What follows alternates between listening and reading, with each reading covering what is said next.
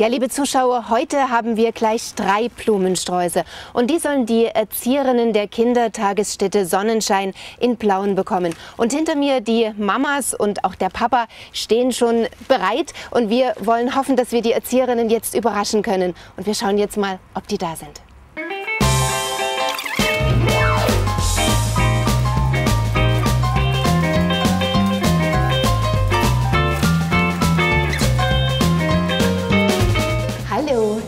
Dürfen wir stören?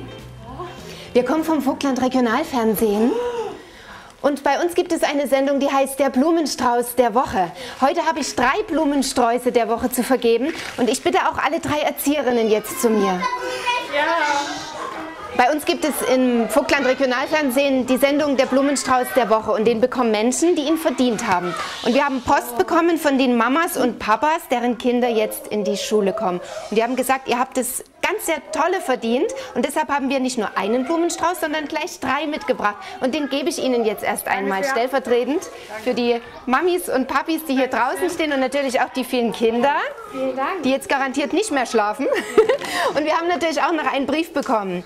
Lange haben wir überlegt, wie wir euch für die gute Arbeit mit unseren Kindern danken können. Etwas ganz Besonderes sollte es sein. Dann kam uns die Idee, der Blumenstrauß der Woche ist angemessen. Die Zeit bei euch war wunderschön. Trotzdem müssen wir nun gehen. Wir wünschen euch für die Zukunft viel Glück, Gesundheit und schöne Stunden im Kindergarten. Danke sagen die Eltern und Kindern der Schulanfänger 2013 der Kindertagesstätte Sonnenschein.